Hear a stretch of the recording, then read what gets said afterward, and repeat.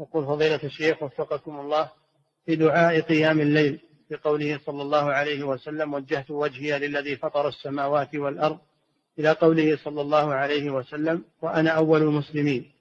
فأنا أقول تأدبا وأنا من المسلمين.